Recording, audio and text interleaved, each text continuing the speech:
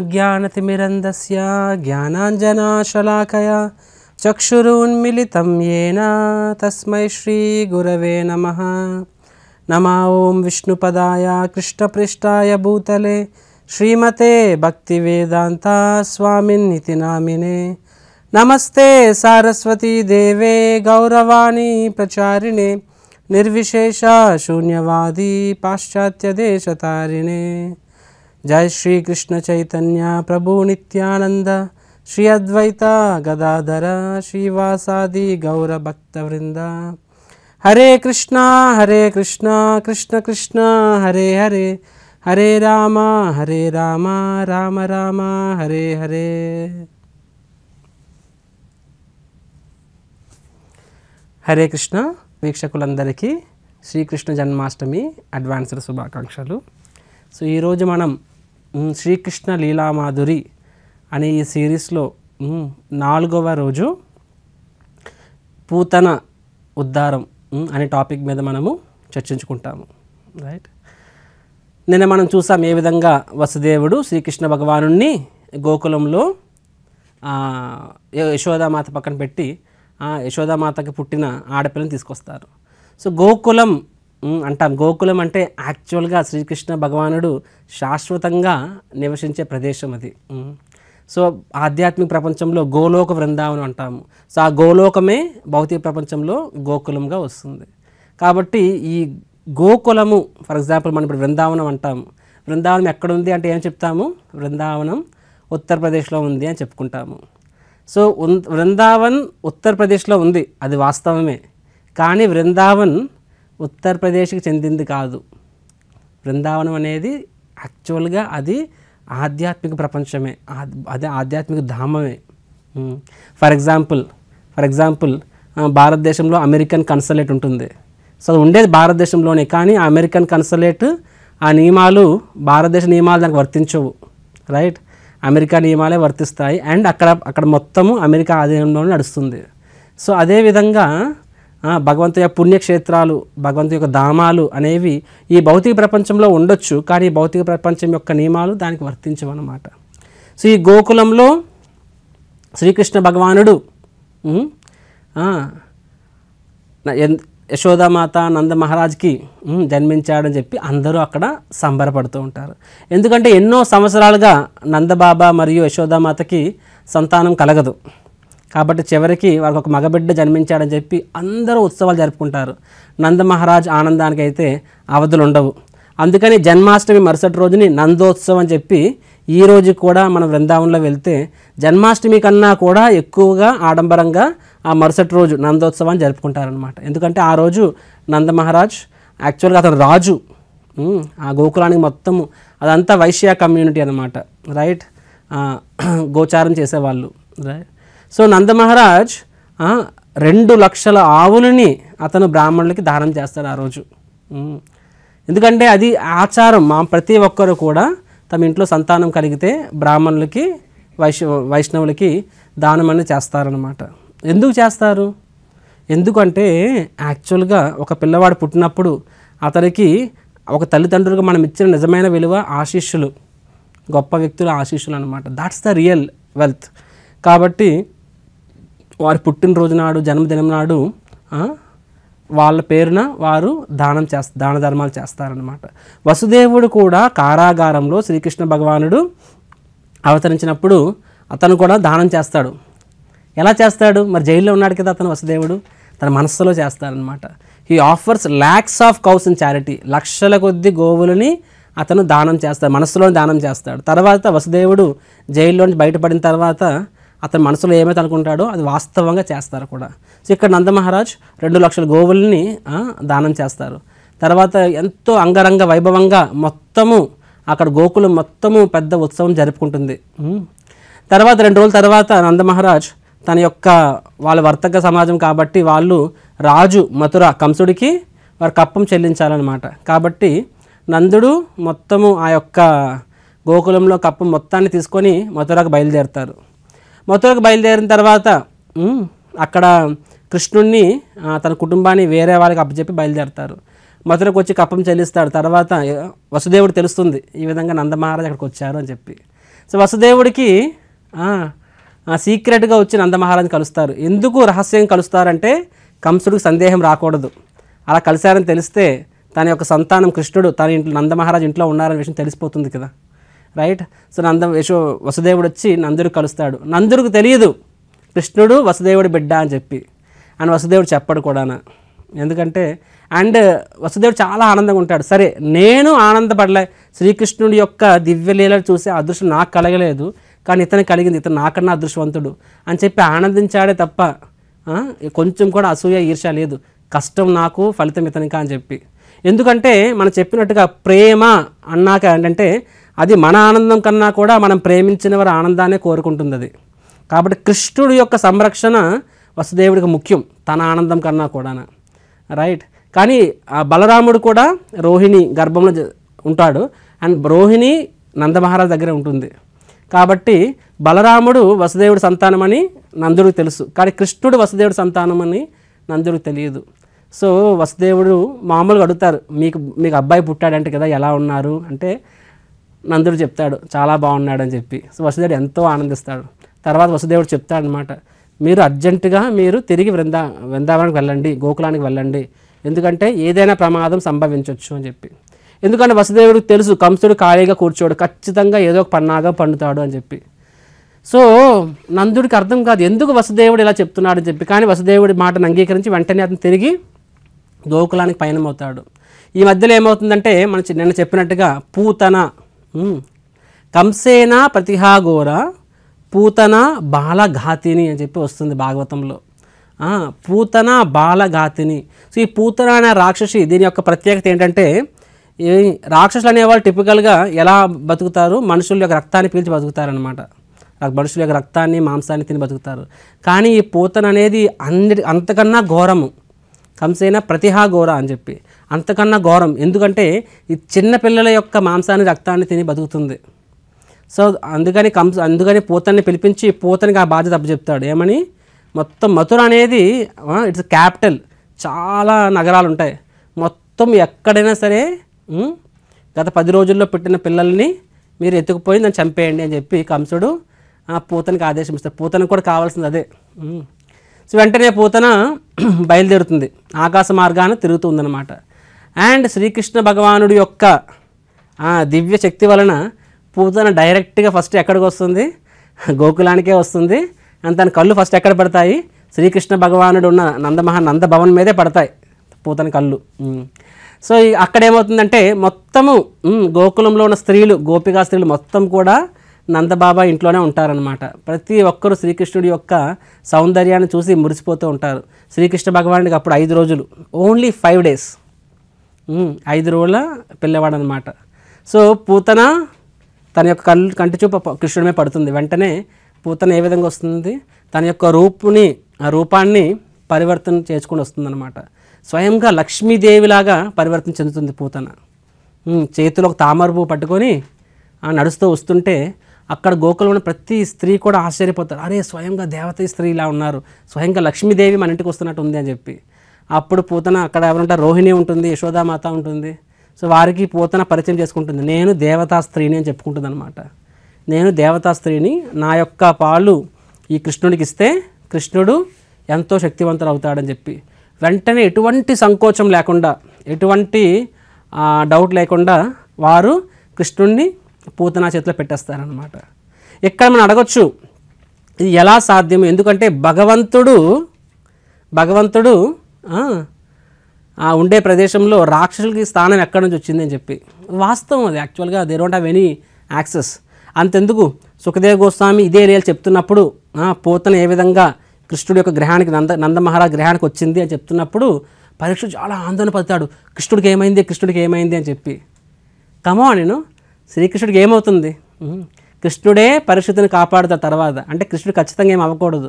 కానీ పరిశుద్ధుడు ఆ లీలలో ఎంత అబ్జార్బ్ అయిపోయాడంటే కృష్ణుడికి ఏమైపోతుందని భయపడతాడనమాట అప్పుడు సుఖదేవ్ గోస్వామి చెప్తారు. ఏమంటారంటే రాజా భగవంతుని యొక్క గుణ రూప లీల భగవంతుని యొక్క కీర్తన భగవంతుని యొక్క కథ ఎక్కడైతే నడుస్తుందో అక్కడ కూడా ఎటువంటి అపాయము హాని జరగదు. అందుకని నేను కూడా చెప్తూ ఉంటాను నా దగ్గరికి ఎవరు ఏ సమస్యతో వచ్చినా సరే ఒకటే చెప్తాను అనమాట భగవంతుని యొక్క నామము బాక్స్ ఉంటుందన్నమాట హరే కృష్ణ మంత్రం బాక్స్ మీ ఇంట్లో పెట్టుకోండి. ఆ తర్వాత అన్ని దోషాలు అన్ని అపాయాలు తొలగిపోతాయని చెప్పి. నేను గత ఇరవై ఏళ్ళుగా నేను అందరికి ఇదే రికమెండ్ చేస్తున్నాను ఫలితం ఉంది.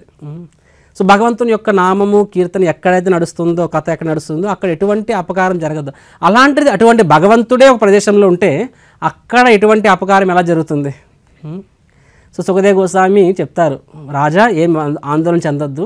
అక్కడ ఉన్నది కృష్ణుడు. అతనికి ఏమీ కాదు అని చెప్పి. సో అప్పుడు సో ఎనీహౌ స్టోరీలో అగైన్ పూతన వస్తుంది. కృష్ణుడిని తన ఒడిలో తీసుకుంటుందన్నమాట. అండ్ కృష్ణుడు పూతను చూడగానే వెంటనే కళ్ళు మూస్తారు. ఇమ్మీడియట్లీ క్లోజెస్ ఇస్ ఐస్ ఎందుకు మూస్తారయ్యా అంటే చూడండి శ్రీకృష్ణుడు ఈ లోకంలో రావడానికి one of the main purpose ముఖ్య ఉద్దేశం ఏమిటి? దుష్ట శిక్షణ సారీ దుష్టుల్ని దండించడం. అండ్ ఇన్ జనరల్గా ఎవరు కూడా స్త్రీలను దండించరు. Hmm. రైట్ కానీ కృష్ణుడు తన ముందు అవతారం రామావతారంలో కూడా రాముడు ఎంతో రాక్షసుని చంపాడు. కానీ ఫస్ట్ ఎవరిని చంపారు? తాటకి ఒక స్త్రీ. అండ్ ఎక్కడ కృష్ణుడు? అనుకుంటారనమాట మొట్టమొదటిగా నా ఏ నా డెబ్యూ మళ్ళీ ఎవరితో అవుతుంది?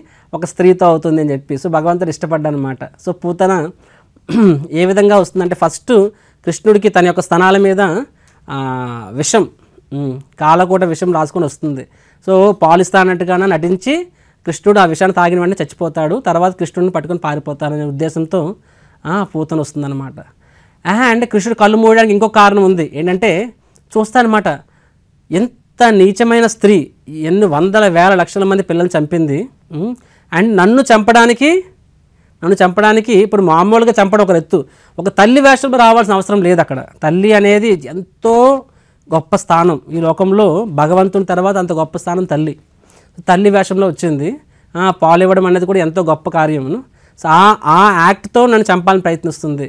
ఎంత హీనమైన స్త్రీ. కానీ ఈవిడిలో ఏదైనా మంచి గుణం ఉందా అని చెప్పి భగవంతుడు ఒక్కసారి కళ్ళు మూసుకుని ఆలోచిస్తారనమాట సో అప్పుడు భగవంతుడు తెలుస్తుంది ఏంటంటే పూతన ముందు జన్మల్లో బలి మహారాజ్ బలి బలి మహారాజుని దండించడానికి భగవంతుడు వామనుడుల కింద వచ్చినప్పుడు సో బలి మహారాజ్ యొక్క సిస్టర్ ఈ పోతున్న అప్పుడు బలి మహారాజ్ సిస్టర్ అనమాట ఆవిడ ఫస్ట్ వామన్ దేవుని చూసినప్పుడు వామనుని చూసినప్పుడు ఆ వాముడు చాలా చిన్నగా ఉంటాడనమాట ఉపేంద్ర.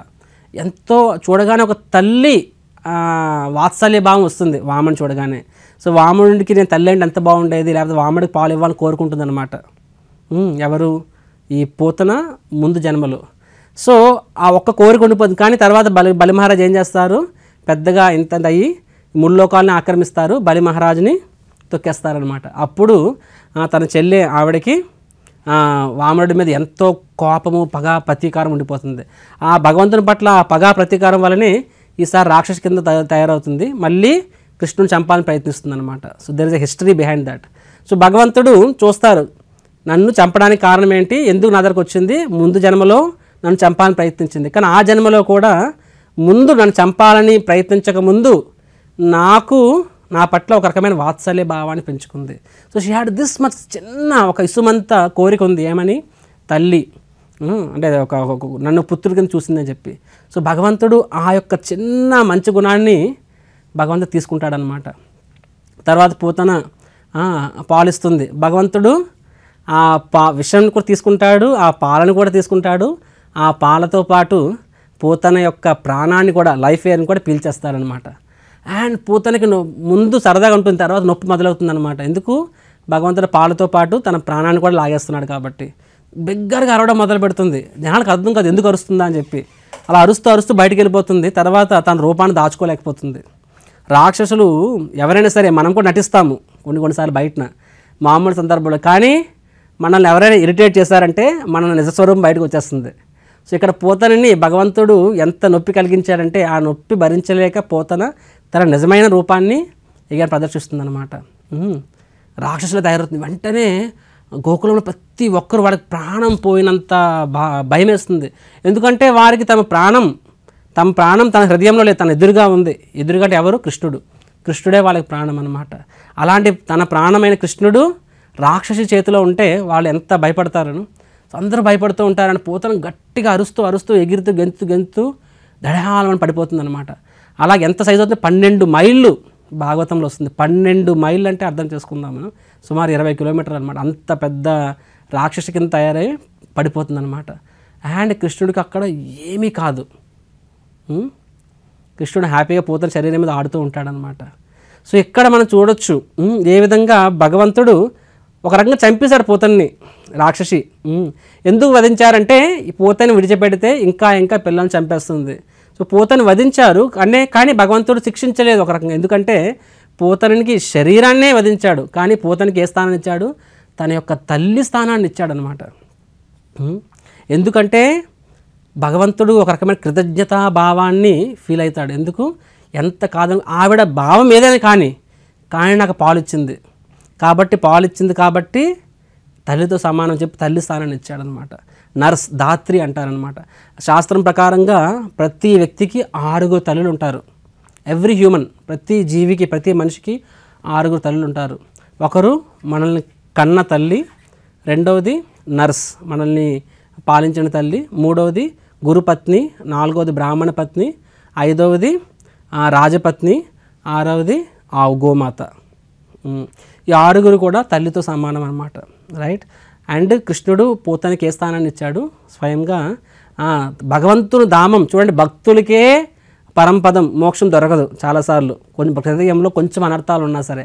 అలాంటిది ఇక్కడ ఒక రాక్షసికి భగవంతుడు కేవలం మోక్షాన్ని మాత్రమే కాదు ఏ స్థానాన్ని ఇచ్చాడు? తన ఆధ్యాత్మిక ప్రపంచంలో తన తల్లి స్థానాన్ని ఇచ్చాడనమాట ఎంత గొప్పది.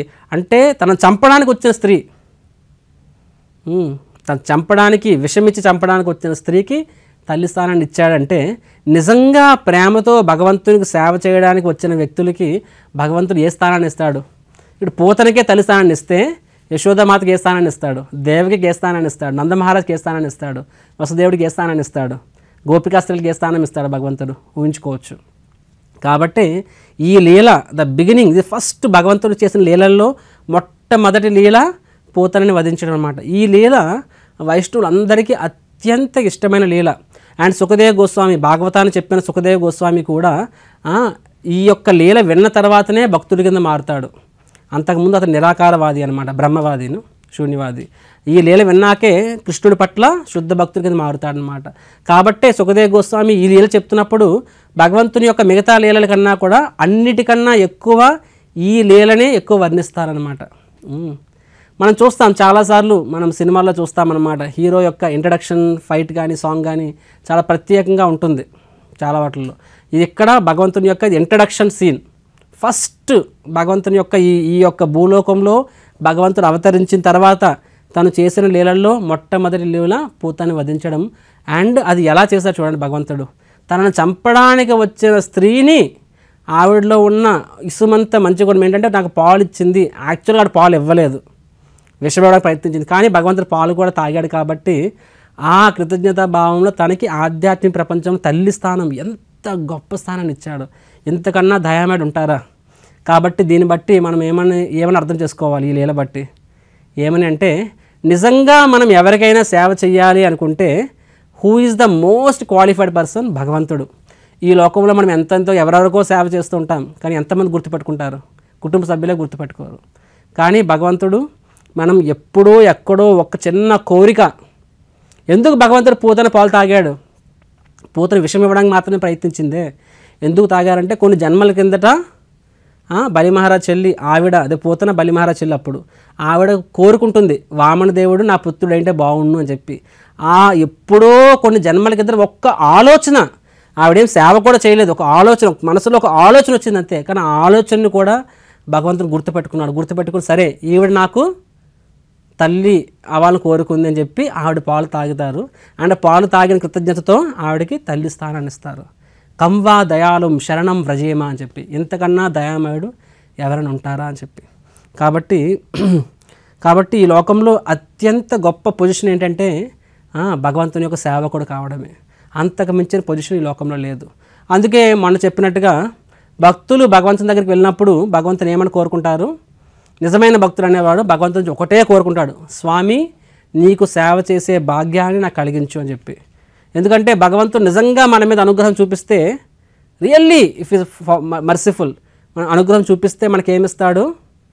సేవ చేసే అవకాశాన్ని ఇస్తాడు. అంతకు మించిన వరం ఇంకొకటి లేదు. ఓకే మనం అడిగిన కోరికలు తీరుస్తాడు అది వాస్తవం. మన దృష్టిలో అది భగవంతుని మనకు చేసే నిజమైన ఫేవర్ కానీ వాస్తవంగా భగవంతుని దృష్టిలో తను తన భక్తులకి ఇచ్చే నిజమైన ఫేవర్ ఏంటి? వారికి సేవ చేసుకొని తనకు సేవ చేసుకుని భాగ్యం కలిగించడం. అంతకు మించిన అదృష్టం ఇంకోటి ఉండదు. ఇక్కడ భగవంతుడు పూతనికి ఆ స్థానాన్ని ఇచ్చాడనమాట. తర్వాత నందబాబా చేరుకుంటారు అప్పటికి. నందబాబు చూస్తారు ఏ విధంగా పూతన పన్నెండు మైళ్ళు పడుంది. ఆ, మొత్తం అక్కడున్న ఉద్యానవనాలు రోడ్లు అన్నీ ధ్వంసం అవుతాయి. కానీ ఎవ్వరికి హాని కలగదు. తర్వాత గోకులంలో వాసులు అందరూ ఆ పూతన యొక్క శరీరాన్ని చెప్పబడింది అనమాట భాగవతంలో. శరీరాన్ని కోస్తారనమాట రంపాలతో కోచి వాటిని తగలబెడతారంట. అలా తగలబెట్టినప్పుడు ఏమవుతుంది? పూతన శరీరం గంధపు చెక్కలు కాలిస్తే ఎంత సువాసన వస్తుందో అంత సువాసన వస్తుంది. అక్కడ కూడా వర్ణన వస్తుందన్నమాట. యాక్చువల్గా పూతన రాక్షసి తన శరీరము అత్యంత దుర్గంధభరితం. అంత దుర్గంధభరితమైన శరీరము కానీ ఇప్పుడు ఇప్పుడు ఏమవుతుంది? ఒక గంధపు చెక్కల వలె ఎంతో సువాసన వస్తుంది. ఎలా వస్తుందంటే భగవంతుని యొక్క స్పర్శ. సో భగవంతుని యొక్క స్పర్శ వలన అంత దుర్గంధమైన శరీరం కూడా అంత సుగంధపరితం అవుతుందన్నమాట that's the power of the lord so hmm. ఆ విధంగా పూతని వధిస్తారు. తర్వాత అని అంత అవుతుంది కానీ ఒక్కరు కూడా ఎలాగా ఇంత చిన్ని కృష్ణుడు పూతనని ఎలా సంహరించగలిగాడు అనే ఆలోచన ఒక్కరి మనసులో కూడా రాదు. ఎందుకంటే మనం మనం చెప్పినట్టుగా వాత్సల్య భావం ఆ వాత్సల్య భావం ఎంత గొప్పదంటే ఐశ్వర్య భావం దాని ముందు పనికిరాదనమాట మనం చెప్పుకుంటాం కొన్నిసార్లు ప్రధానమంత్రి తల్లి అతను ఎంత గొప్ప కనకార్యం చేయని తల్లికి మాత్రం నా పిల్లవాడికి ఏం తెలియదు నా పిల్లవాడికి అలాగనుకుంటుందన్నమాట. అలాగ కాబట్టి వాళ్ళందరూ ఏమనుకుంటారు? ఓకే భగవంతుడే కాపాడాడు విష్ణువే కాపాడాడు నా పిల్లవాడిని అనుకుంటారు తప్ప ఇంకే రకంగా ఆలోచించరు. కానీ వాళ్ళకి తెలియని విషయం ఏంటి? ఆ విష్ణువుకి కూడా నారాయణుడు కూడా ఆధారము శ్రీకృష్ణ భగవానుడే అనే విషయం వాళ్ళకి అర్థం కాదనమాట రైట్ సో యశోదామాయ కృష్ణుని ఎత్తుకొని వెంటనే దిష్టి తీస్తారు. గోమూత్రంతోనూ నెక్స్ట్ను అన్నిటితో దిష్టి తీస్తారనమాట సో ఈ విధంగా శ్రీకృష్ణ భగవానుడు శ్రీకృష్ణ భగవానుడు తన మొట్టమొదటి లీల ద్వారానే ఈ లోకానికి ఏమని చాట చెప్తున్నాడు? నాకు సేవ చేయడం కన్నా అత్యంత గొప్ప ఉన్నతమైన స్థానం మరొకటి లేదు అనే విషయాన్ని ఈ పూతల వద్ద ద్వారా చాటి చెప్తున్నాడు అనమాట శ్రీకృష్ణ భగవానికి